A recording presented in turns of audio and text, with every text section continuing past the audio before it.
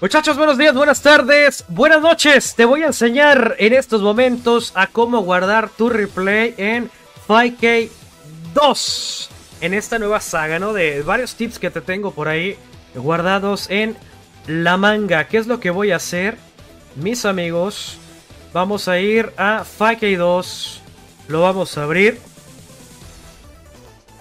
Supongamos que estamos en un torneo, ¿no? Entré al torneo del tío Cox. Y le tengo que mandar el replay. Bueno, ¿qué voy a hacer? Entro a mi perfil. Ahí está Profile. O a cualquiera. Me voy a Replays. Y supongamos que esta fue la última reta, ¿no? Que yo me eché. En donde dice View Replay. Voy a dar clic derecho. Copiar enlace. Ahí está. Copio el enlace. Me voy con el tío Cox, le digo, tío Cox, ya jugué contra el Tepi 69, le gané 10 a 0 al manco, y aquí está el replay. Clic derecho, pegar, ahí está muchachos. Vamos a abrirlo para que usted vea que ese es el replay. ¿Ya vieron?